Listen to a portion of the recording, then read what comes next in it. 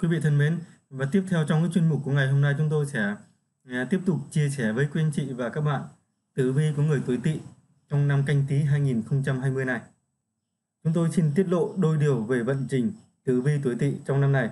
Nói chung đây là cái năm vượng tài, vượng lộc nhưng lại rất khó khăn trong cái chuyện mà thăng quan tiến chức. Vậy thì cụ thể cái tổng quan à, tử vi tuổi Tý như thế nào về công danh, về tài lộc, về sức khỏe, về tình duyên và Ờ, tử vi của từng tuổi tỵ trong cái năm này như thế nào chi tiết cụ thể cho từng tuổi và từng tháng trong cái năm âm lịch của 2020 và cách hóa giải những cái điểm xui xẻo như thế nào thì sau đây xin mời quý anh chị chúng ta ờ, cùng tìm hiểu về tử vi tuổi tỵ trong năm canh tí 2020 này. Trước hết đấy là chúng ta cùng xem qua cái tổng quan của tử vi tuổi tỵ trong năm 2020. Thì năm 2020 tuổi tỵ phần nào chịu ảnh hưởng của thái tuế, ngũ hành xung khắc nên phải gánh trên vai khá nhiều áp lực, nhất là về vấn đề kinh tế. Bán bệnh có thể bị chèn ép và hạn chế rất nhiều, có cơ hội nhưng khó bể nắm bắt, sự nghiệp cũng không được như ý. Trong năm canh tí, tuế can canh thổ lộ xuất chính tài. Thái tuế tý thủy gặp chính quan tinh, tý thủy và tỵ hỏa xung đột mạnh. Về phần vận khí, sẽ đẩy nhiều khó khăn về phía những chú rắn. Thời gian này bán mệnh sẽ có kha khá cơ hội liên tiếp cận với tài lộc, thường là những cái mối buôn bán nhỏ lẻ hay cái việc làm mà tăng thêm thu nhập. Tài lộc tuy nhỏ nhưng tích tiểu thành đại. Có điều, may mắn thường như cát lượn qua tay, khó lòng nắm giữ. Về phương diện sự nghiệp, con giáp này không được cấp trên ưu ái, phát triển năng lực của mình. Bán mệnh muốn thể hiện bản thân nhưng không được trao cho cơ hội, ngoài mặt không phải chịu áp lực gì. Nhưng với con giáp này đó lại là áp lực vô hình khi mọi thứ cứ dậm chân tại chỗ. Tối tỵ thường lo sợ cái việc mà mình trở nên vô hình trong mắt người khác, luôn nỗ lực để gây cái ấn tượng và xây dựng chỗ đứng cho bản thân. Tuy nhiên thì điều này sẽ mang tới cái nhiều cái sự bất mãn cho bản mệnh trong năm 2020, đòi hỏi bản mệnh phải bình tĩnh và giữ cho đầu óc sáng suốt, tìm cơ hội chính xác để chuyển mình đổi vận. Thái tuế năm 2020 cũng mang theo không ít hung tinh gây xung sát cho tuổi rắn, chủ yếu gây họa, tán tài, hao lộc và mất đoàn kết giữa các thành viên trong gia đình, lục đục nội bộ. Người cầm tinh con giáp này cũng nhớ kỹ năm canh tí chớ nên chủ quan tham gia đầu tư mạo hiểm hay cờ bạc đỏ đen. Thái tuế ngự tại chính quan cho thấy cái sự hiện diện của chính nghĩa cũng là đại diện của pháp luật đi trái với vận mệnh và làm trái pháp luật thì chắc chắn sẽ gánh chịu hậu quả nặng nề. Không chỉ mất mát tiền của mà còn có nguy cơ vướng vào vòng lao lý. Năm nhâm tý còn tượng trưng cho cái sự tiêu cực, bất cần trong suy nghĩ và hành động do bị hóa khắc chế. Có thể sẽ gây ra áp lực lớn về mặt tinh thần hay gây ra cái vết thương ngoài da. Tim mạch không được tốt cùng sẽ ảnh hưởng lớn đến cuộc sống của con giáp này. Bán mệnh dễ nổi nóng, bốc đồng mà chịu thiệt nên suy nghĩ kỹ trước khi hành động, giữ cho mình được lạc quan yêu đời, tự tin vào bản thân mình dù có chuyện gì xảy ra. Và tiếp theo chúng ta cùng sang cái Vấn đề thứ hai đây là tử vi về sự nghiệp của tuổi Tỵ trong năm 2020. Thì xem bói về tử vi sự nghiệp tuổi Tỵ trong cái năm này, trong năm Phạm Tam Tai 2020, con giáp này phải đối mặt với những áp lực nhất định, mối quan hệ với cấp trên không được tốt, chẳng được tạo điều kiện phát triển đúng với khả năng của mình. Cấp trên có thể không thể hiện rõ ràng bên ngoài nhưng có thể âm thầm chú ý quan sát tuổi Tỵ. Chỉ cần con giáp này sơ suất lơ là, thiếu tập trung là có thể nhận lời khiển trách ngay lập tức. Họ không trực tiếp gây áp lực cho con giáp này, tuy nhiên bán mệnh cũng cần phải tự biết mà nhắc nhở bản thân, bởi đó có thể là cách mà cấp trên đang dùng để thăm dò thực lực và quyết định những cái vị trí trong tương lai cho bạn. Năm 2020 này, tuổi tỵ không có cơ tuổi tỵ không có cơ may thăng quan tiến chức mấy đâu, nhưng bán mệnh đừng vì thế mà buông xuôi. Càng nhiều khó khăn thì càng phải cố gắng nhiều hơn, hãy nắm bắt từng cơ hội dù ít ỏi để chứng minh thể hiện năng lực của mình. Hãy nỗ lực để tạo chỗ đứng vững chắc cho mình, tạo nền tảng cho những phát triển sau này, cố gắng tuân thủ những quy định đã được đề ra, làm việc theo đúng quy trình. Đừng tự lách luật mà gây rắc rối cho chính mình, làm hài lòng cấp trên, đáp ứng yêu cầu về công việc thì sự nghiệp sẽ có nhiều cơ hội phát triển hơn. Xem tổng quan Tử vi sự nghiệp tuổi tỵ năm 2020, đây là một năm khó khăn để tiến bước với con giáp này. Bản mệnh chưa phát huy được năng lực của bản thân. Và cái vấn đề thứ ba, đấy là cái vấn đề về tài lộc của tuổi tỵ trong năm 2020 thì xét về cái đường tài lộc của người tuổi tỵ trong năm này thì có thể do canh kim nội xuất thiên tài mà chính tài sinh chính quan tọa tại tý thủy nên bị cản trở trong công việc chính thủy hóa bất dung khiến cho cái thu nhập từ công việc chính khó bể gia tăng tài lộc trong năm canh tí chủ yếu đến từ những cái nguồn thu phụ, thái tuế, hóa thiên tài. Đầu tư ngắn hạn sẽ có lợi hơn. Đừng tham mà đầu tư lâu dài, dễ xảy ra bất chắc. Càng không nên đầu tư mạo hiểm hay chơi cờ bạc đỏ đen. Nếu có dự định đầu tư thì cần phải tìm hiểu rõ về các quy định của pháp luật, áp dụng đúng quy định, đồng thời xem xét thật kỹ để tránh những cái tổn thất thiệt hại nghiêm trọng. Nên kiếm thêm cái việc làm thêm thu nhập từ nghề tay trái sẽ ổn định và vững vàng hơn. Góp ít thành nhiều, tích tiểu thành đại chăm chỉ làm lụng thì tất sẽ có được một cái khoản kha khá để cuộc sống được dư giả hơn. Nhìn tổng thể vận trình tử vi tài lộc tuổi tỵ trong năm 2020 thì có thể nhiều bạn sẽ thấy tài lộc dồi dào, nhưng sự thực con giáp này trong năm kiếm tiền khá khó khăn. Và cái vấn đề thứ tư là vấn đề về tình cảm. Xem đường tình duyên năm 2020 của tuổi tỵ thì năm canh tí này, thái tuế, tý thủy, ngự tại, chính quan tinh, tuế can, ngự tại, thiên tài tinh con giáp này có nhân duyên khác phái vô cùng lý tưởng. Nhân duyên này không phải đào hoa vận, đơn giản là bản mệnh sẽ có nhiều cái cơ hội để gặp gỡ, tiếp xúc với người khác phái.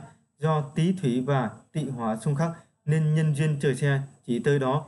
Việc thành đôi hay không hoàn toàn do con giáp này quyết định. Vì thế, dù là nam mệnh hay nữ mệnh thì tuổi tỵ cũng cần phải học cách bao dung, bỏ qua cho nhau. Hãy nhìn vào mặt tích cực, suy nghĩ lạc quan để đến gần hơn với hạnh phúc của riêng mình. Bạn cần phải chủ động, chứ không chỉ ngồi im một chỗ. Tuy nhiên, cũng đừng nóng vội quá mà thể hiện mình thái quá, dễ khiến cho đối phương thấy phản cảm. Cần giữ cho trái tim nóng và cái đầu lạnh, quan sát và hành động tinh tế. Nên đứng từ cái góc độ của người ấy để suy nghĩ, rồi mới đưa ra hành sự tinh tế và óc quan sát nhạy bén sẽ giúp con giáp này khá nhiều trong việc tìm thấy một nửa kia của mình nếu không thì con đường tình yêu của những chú rắn sẽ còn rất nhiều gập ghềnh chắc trở. Theo dõi tử vi tình duyên tuổi tỵ năm 2020, con giáp này đào hoa không có nhiều, cơ may hạnh phúc ít ỏi. Có thể phải đối mặt với nhiều biến động trong mối quan hệ. Và sang cái vấn đề thứ, là thứ năm là chúng ta cùng tìm hiểu về Ừ, sức khỏe của người tuổi tỵ trong năm 2020. Thì trong cái năm này thì tình hình sức khỏe của tuổi tỵ khá ổn định, không gặp phải vấn đề gì quá lớn. Tuy nhiên do ngũ hành thủy hỏa xung khắc nên vẫn ẩn chứa một cái số hiểm họa nhỏ dễ khiến cho con giáp này bị thương. Tị hóa tượng trưng cho tim, mắt, vì thế bản mệnh cần nhớ đừng tự tạo ra quá nhiều cái áp lực cho mình, cần lưu ý giữ cho mắt được nghỉ ngơi thoải mái cũng như lựa chọn cái tư thế ngồi và thói quen sinh hoạt điều độ khoa học. Trong năm hạn chế đến những cái nơi nhiều nước, ẩm ướt tối tăm hay có nhiều tà khí dễ đẩy bản thân vào cái nguy hiểm có thể bị xung sát gây thương tật và chúng ta sang cái phần thứ sáu đấy là tử vi tuổi tỵ năm 2020 theo từng cái tuổi chi tiết ở đây thì các chi tiết các tuổi sẽ có là tuổi tân tỵ sinh năm 1941 ờ, quý tỵ sinh 1953 ất tỵ 1965 đinh tỵ 1977 kỷ tỵ 1989 và tân tỵ 2001 à, trước hết chúng ta cùng đến với tử vi 2020 của tuổi tân tỵ sinh năm 2001 mệnh Bạch Lạp Kim. Tức là tuổi tỵ mệnh Bạch Lạp Kim trong cái năm này vận khí khá tốt, chỉ cần tuân theo những cái kế hoạch định ra từ trước thì có thể đạt được cái mục tiêu mong muốn. Hãy nhớ câu cần cù bù thông minh, dù gặp phải bất cứ chuyện gì cũng đừng nghĩ ngay tới việc là nhờ cậy người khác mà cần phải có ý thức tự giác dựa vào chính sức mình. Trong năm có quý nhân phù trợ chắc chắn sẽ thu được những cái thành quả không tồi có điều, đừng thấy thành công mà tự mãn, kiêu ngạo, cần giữ cho mình sự khiêm nhường và tinh thần cầu tiến, cầu thị, ham học hỏi. Nếu còn theo cái nghiệp học hành thì cần phải giữ cho mình tinh thần chính nghĩa, cương trực, sống phóng khoáng, thoải mái với mọi người thì nhân duyên cực tốt, bạn bè ở khắp muôn nơi. Chuyện học hành cũng khá thuận lợi được thầy cô bạn bè yêu quý giúp đỡ. Trong khoảng thời gian này, bán mệnh cũng sẽ đón nhận không ít lời tỏ tình từ người khác phái, nhưng đừng vội nhận lời hứa hẹn. Hãy để cho thời gian thử thách đối phương cũng như chính bản thân mình Nếu đó là tình yêu đích thực thì cũng chẳng ngại chờ đợi để bạn gật đầu bước vào mối quan hệ chính thức. Tiếp theo chúng ta cùng tìm hiểu về à, tử vi 2020 của tuổi Kỷ Tỵ, sinh năm 1989, mệnh Đại Lâm Mộc. Tức là bước sang cái năm canh tí 2020 thì người tuổi ký Tỵ vận thế không tồi, có nhiều cái cơ hội đến với mình. Bán mệnh chỉ cần nắm giữ cơ hội đó là có thể xoay chuyển được vận mệnh. Nếu lỡ gặp khó khăn thì hãy lắng nghe lời khuyên của những người đi trước để cân nhắc và đưa ra quyết định sáng suốt nhất. Đừng vội vàng mạo hiểm đầu tư tài chính nếu không có một cái khoản tiền tích lũy không nhỏ. Trong năm này có thể tận dụng cát khí để tiến hành những cái kế hoạch khởi nghiệp. Tuy nhiên, cần chú ý học cách lắng nghe và tiếp thu ý kiến, đừng một mình một ý, nổi máu anh hùng mà tự mình chịu thiệt. Nên biết cách lấy ưu điểm của người khác để bù đắp cho khuyết điểm của mình, tìm cách hợp tác để cùng phát triển giúp lợi nhuận đạt được mức cao nhất. Trong chuyện tình cảm, kỳ tị, nếu còn độc thân thì vận đào hoa khá ảm đạm, khả năng cao vẫn trong cái cảnh là chăn đơn gối chiếc Hãy lắng nghe lời khuyên bảo của mọi người, nhân duyên không có nhiều nhưng đừng đòi hỏi những thứ vượt xa tầm với của mình. Người đã kết hôn dễ nảy sinh xung đột với nửa kia của mình. À, nếu biết cách xử lý vấn đề thì tình cảm sẽ càng thăng hoa rực rỡ. Nhưng ngược lại, nếu không biết cách xoa dịu mâu thuẫn thì sẽ đẩy mối quan hệ của mình vào bờ vực tan vỡ. Tiếp theo chúng ta cùng sang đến tuổi Đinh Tỵ, sinh năm 1977, mệnh Sa Trung Thổ. Thì à, người Đinh Tỵ sinh năm 77 trong năm 2020 này vận trình nửa đầu năm khá ổn định, sự nghiệp không có nhiều xáo trộn, bán mệnh đang có những cái thành quả khá tốt trong tay. Nếu muốn nhanh chóng tăng lương thăng chức thì nên học hỏi, bồi dưỡng thêm về chuyên môn, cố gắng làm tốt ở một cái mảng nhất định, thể hiện được cái khả năng làm việc độc lập của mình, đồng thời nhanh tay nắm bắt những cái cơ hội phát triển ở vị trí cao hơn. Có thể thông qua những kỳ sát hạch năng lực để nâng cấp, song cần lưu ý làm gì cũng phải biết đúng mực, cư xử hài hòa để tránh bị tiểu nhân, ganh ghét mà gây chuyện. Về chuyện tình cảm, năm nay bán mệnh chịu nhiều áp lực trong công việc nên dễ đem lại những cảm xúc tiêu cực chút lên một nửa kia của mình. Vợ chồng thường xuyên xảy ra tranh chấp nên học cách kiểm soát cảm xúc, giải tỏa căng thẳng, dành nhiều thời gian chăm sóc gia đình mình và người thân, đừng vì công việc mà để cho tình cảm dạn nứt phôi phai. Ừ, và tiếp theo chúng ta cùng xem tử vi năm 2020 của tuổi Ất Tỵ, sinh năm 1965, mệnh Phú Đăng Hỏa. Xem vận mệnh Ất Tỵ năm 2020 này, à, con giáp này cần phải đặc biệt cẩn trọng bởi đây là cái năm đại hung đối với bạn vận khí cực kỳ kém. Khoảng thời gian này, chúng tôi khuyên bạn nên cân nhắc kỹ trước những cái quyết định thay đổi công việc, chớ nên chủ động thay đổi chỉ vì cái lý do cá nhân không chính đáng. Hãy giữ quan điểm tài chính bảo thủ một chút, tức là dành phần lớn khoản tiền mình có cho tiết kiệm, tích lũy bền lâu, hạn chế tiêu cái số tiền quá lớn vào việc đầu tư. Trong cuộc sống hàng ngày nên biết cách khống chế ham muốn qua cái việc mà mua sắm quá đà chớ nên chi tiêu lãng phí, đừng vì sĩ diện mà dùng tiền bạc thiếu cân nhắc, đổ tiền vào ăn chơi, mua sắm. Nên có kế hoạch chi tiêu cụ thể, giảm bớt những cái thứ không thực sự cần thiết. Năm nay nên tự rèn cho mình cách nhìn người, chọn bạn mà chơi. Càng những thứ liên quan đến tiền như đầu tư kinh doanh thì càng không thể dễ dàng tin tưởng người khác. Nên quan sát từng biến động của thị trường để có những cái thay đổi phù hợp. Trong chuyện tiền bạc nên để mình nắm cái thế chủ động, chú ý cân nhắc mọi cái phương án trước khi làm bất cứ điều gì. Biết đủ là đủ, đừng tham lam quá mức, cũng đừng nóng vội đòi thành quả quá sớm. Cần phải có đủ kiên trì và nghị lực thì mới có thể làm việc lâu dài và gặt hái được nhiều thành quả tốt đẹp. Và tiếp theo xin mời quý anh chị chúng ta cùng à, đến với tuổi Quý Tỵ sinh năm 1953, mệnh Trường Lưu Thủy Người quý tỵ trong năm 2020 này, vận trình không có gì đáng lo. Các mối quan hệ xã hội không được như ý, dễ vướng phải thị phi, tốt nhất là nên hạn chế lo chuyện bao đồng. Hãy nói ít, làm nhiều là hơn. Trong việc đối nhân xử thế nên linh hoạt hơn một chút, tránh để kẻ xấu đứng phía sau bàn luận về mình rồi lại thêu dệt nên những tin đồn vô căn cứ. Nếu có thời gian rảnh, hãy tham gia các hoạt động với bạn bè đồng lứa năng tập luyện thể dục thể thao phù hợp với lứa tuổi để tinh thần thoải mái, sức khỏe cũng được đảm bảo. Nên giữ cái sự bao dung và thấu hiểu, đừng tự tạo áp lực cho chính mình, ôm lo âu trong người, tránh xa những kẻ tiểu nhân, kéo bị chúng lợi dụng lừa gạt. Và trong năm 2020 này, sức khỏe của quý tỵ không được tốt lắm, dễ mắc các cái bệnh về xương khớp, dạ dày. Người nhà nên quan tâm chăm sóc tốt hơn. Và tiếp theo xin mời quý anh chị chúng ta cùng đến với tử vi 2020 của tuổi Tân Tỵ, sinh năm 1941. Mệnh Bạch Lạc Kim. Để tiến sang cái năm canh tí 2020 thì tuổi Tỵ sinh năm 41 không những sức khỏe mà cả cái điều kiện vật chất đều có phần tăng lên. Người này tâm địa hiền lương hay giúp đỡ mọi người, lại nhiệt tình tham gia các hoạt động xã hội nên được mọi người quý mến. Bán mệnh nên làm những cái điều mình thích cho cuộc sống được phong phú hơn, đỡ phần nhàm chán. Chú ý kiên trì tập luyện thể dục, thể thao, giữ cho tâm trạng bình hòa, sinh hoạt điều độ, đồng thời định kỳ thăm khám sức khỏe để giữ cho sức khỏe luôn ở trạng thái tốt nhất. Và tiếp theo xin mời quý anh chị chúng ta cùng đến với tổng quan tử vi hàng tháng của người tuổi Tỵ trong năm 2020 này. Trước hết là là tử vi tháng 1 năm 2020 âm lịch của người tuổi Tỵ. Thì xem tử vi tháng 1 năm canh tí thì tuổi Tỵ vận trình tổng thể bình hòa, tuy nhiên thì có thêm khá nhiều điều phiền não trong công việc và cuộc sống hàng ngày.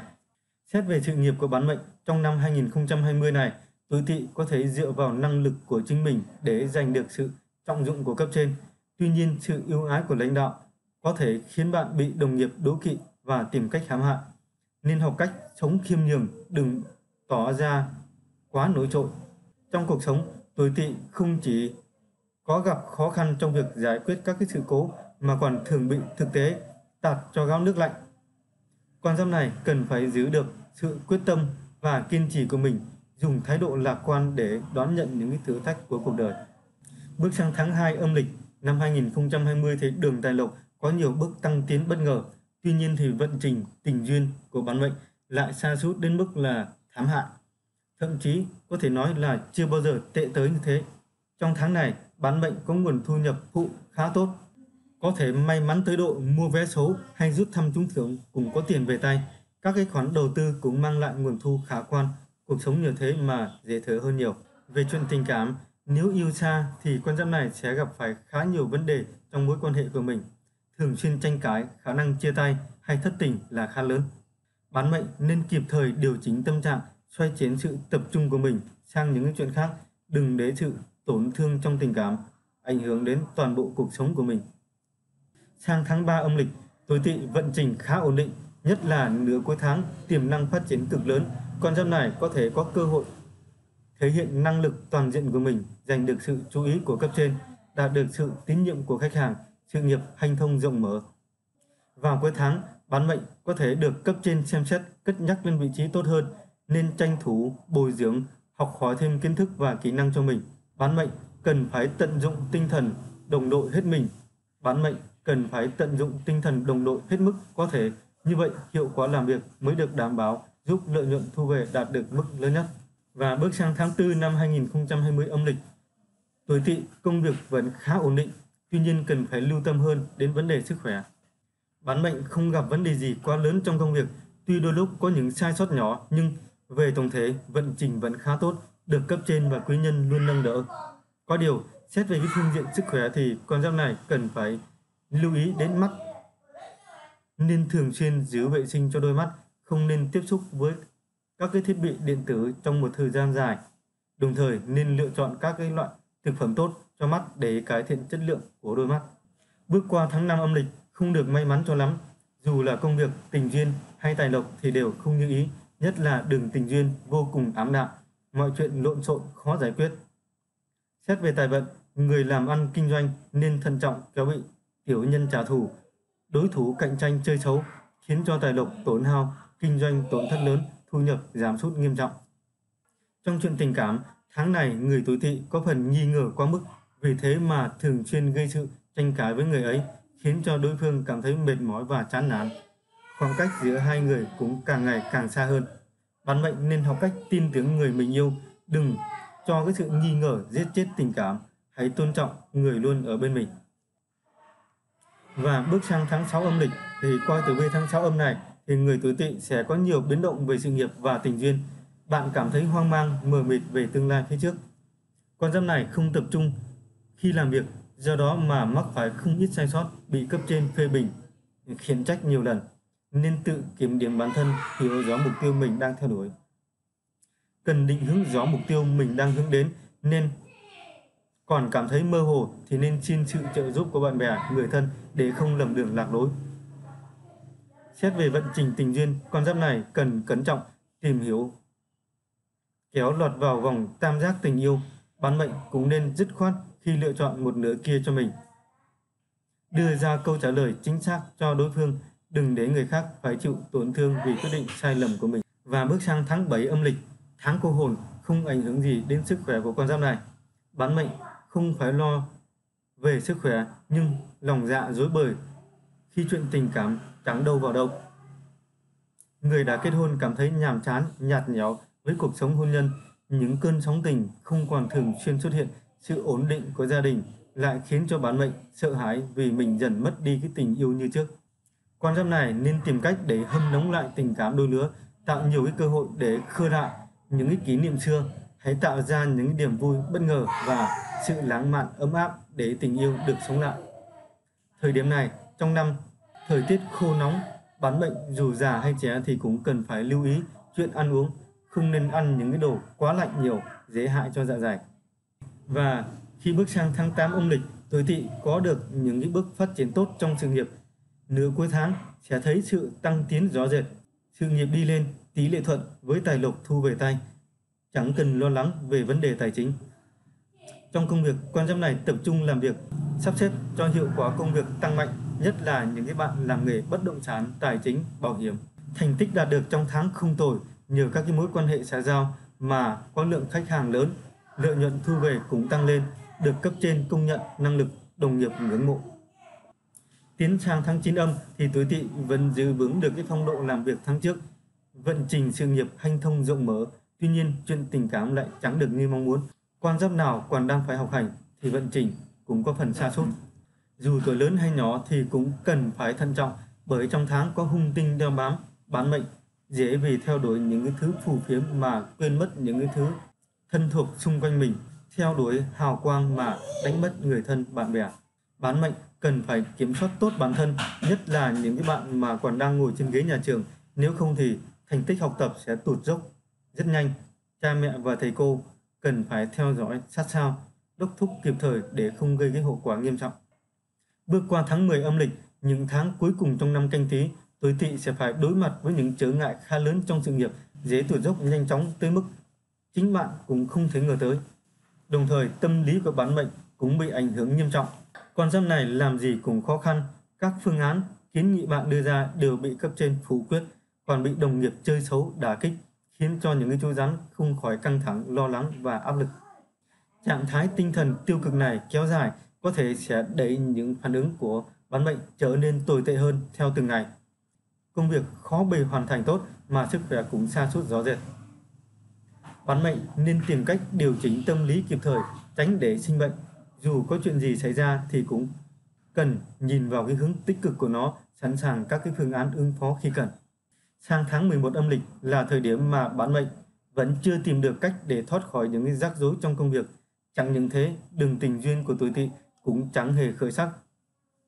Bạn dễ mắc sai lầm, dẫn đến những cái dạng nứt nghiêm trọng trong chuyện tình cảm. Về phương diện công việc, con giáp này vẫn phải đối mặt với đủ những cái khó khăn trở ngại. Riêng người làm kinh doanh thì rất hay bị đối thủ tìm cách trả thù, hạ gục. Cả tiền đồ và tài lộc đều không có gì rõ ràng, dễ lâm vào ngõ cụt. Đường tình chắc trở người độc thân khó bề tìm được người mình thương, vẫn giữ mãi trái tim cô đơn. Người đang yêu có thể nảy sinh mâu thuẫn, hiểu lầm với đối phương, thậm chí có thể phát hiện ra chuyện ngoại tình mà mà tình chia đôi ngã. Sang tháng 12 âm lịch thì những người tuổi tỵ trong tháng cuối cùng của năm canh tí sẽ có được những bước lội ngược dòng ngoạn mục. Dù là cái chuyện công việc, tiền bạc hay tình cảm thì đều khá suôn sẻ và thuận lợi. Trong công việc, con giáp này được quý nhân nâng bước, cấp trên và đồng nghiệp ưu ái giúp đỡ. Sự nghiệp thăng tiến như diều gặp gió, có nhiều khả năng tăng lương, tăng chức vào cuối năm này. Chuyện tình cảm phát triển khá lý tưởng, vượng vận đào hoa, những người còn độc thân có thể dựa vào sức hấp dẫn của chính mình để thu hút sự chú ý của những người khác phái. Bán mệnh dễ gặp được những người ưng ý trong các buổi liên hoan, hội họp cuối năm. Đối tượng của bạn có điều kiện không tồi. Hãy năng tham gia các hoạt động xã hội để tăng thêm cơ hội cho mình. Và đến cái vấn đề thứ 8 thì xin mời quý anh chị chúng ta cùng à, theo dõi cái cách hóa giải theo phong thủy phi tinh năm 2020. Tử vi tuổi tỵ năm 2020 cho thấy thì con giáp này đang gặp khó khăn trong việc mà phát triển sự nghiệp của mình. Tài lộc tới tay không ít nhưng giữ lại cho mình chẳng được bao nhiêu. Trong năm thì dễ gặp chuyện bất bình, thậm chí có thể vướng vào vòng lao lý. Tình cảm gia đình cũng đang không được lý tưởng cho lắm. Tồn tại nhiều mâu thuẫn bất đồng, có thể bằng mặt mà không bằng lòng. Áp lực lớn, ảnh hưởng nhiều tới sức khỏe. Con giáp này cần phải chú ý để giải tỏa áp lực cho mình. Theo dõi cửu cung phi tinh năm 2020 thì theo phong thủy năm canh tí thì phương vị đông bắc là đào hoa vị là vị trí quyết định nhiều đến chuyện tình cảm của gia đình. Mệnh chủ nên giữ cho vị trí này sạch sẽ gọn gàng để cát khí vượng, gia đình được êm ấm hòa thuận. Người mệnh này cũng có thể đặt một số vật phẩm vượng đào hoa ở phương vị này, ví dụ như đôi chim uyên ương, quả cầu thạch anh hồng. Có thể tham khảo thêm các cái mẹo phong thủy tình yêu hôn nhân để tình cảm càng ngày càng thêm vượng. Ngoài ra, cung Đông Nam có sao lục bạch và sao thoái vận bay vào. Nếu bàn ghế giường ngủ nằm ở hướng Đông Nam thì trong năm công việc dễ gặp khó khăn trở ngại. Nếu có thể thì gia chủ nên xem xét để thay đổi hướng đặt đồ để hóa giải những cái xung khắc do phong thủy không hợp gây ra. Quý vị thân mến, trên đây đó chính là tử vi của tuổi Tỵ trong năm Canh tí 2020 về uh, tất cả mọi các vấn đề. Qua cái video này thì uh, chúng ta cũng đã thấy được cái tổng quan tử vi của người tuổi Tỵ trong năm 2020 về tử vi về sự nghiệp, rồi tử vi tài lộc, về tài lộc rồi về tình cảm, về sức khỏe và tử vi của từng tuổi Tỵ chi tiết nhất trong năm 2020 trong năm 2020 này và từng tháng từ tháng 1 cho đến tháng 12 và cũng mong rằng với thông tin này à, sẽ cung cấp cho quý anh chị những cái kiến thức cực kỳ bổ ích để quý anh chị vận dụng cho bản thân mình đón lành tránh dữ trong năm 2020. Chúc quý anh chị sẽ gặt hái được nhiều thành quả, may mắn, hạnh phúc trong năm 2020 này. Và xin được cảm ơn quý anh chị đã theo dõi video của chúng tôi. Nếu có bất kỳ băn khoăn hay là thắc mắc gì thì các bạn hãy ghi rõ rồi để ý lại lời bình luận bên dưới của video và ban biên tập sẽ phản hồi lại các bạn trong cái thời gian sớm nhất. Và nếu các bạn là những người lần đầu tiên đến với kênh Lê Lực Tử Vi hoặc là những ai còn chưa đăng ký kênh thì hãy hoan hỉ đăng ký kênh để ủng hộ ban biên tập của chương trình. Và sau đó hãy nhấn vào tín hiệu chuông ở phía bên dưới để không bỏ lỡ những cái thông tin mới nhất khi có video mới nhất và hay nhất từ ban biên tập. Và chúc quý anh chị và các bạn có những ngày tháng luôn vui vẻ an bình an và gặp nhiều may mắn. Xin chào tạm biệt và hẹn gặp lại các bạn trong những nội dung tiếp theo của chúng tôi.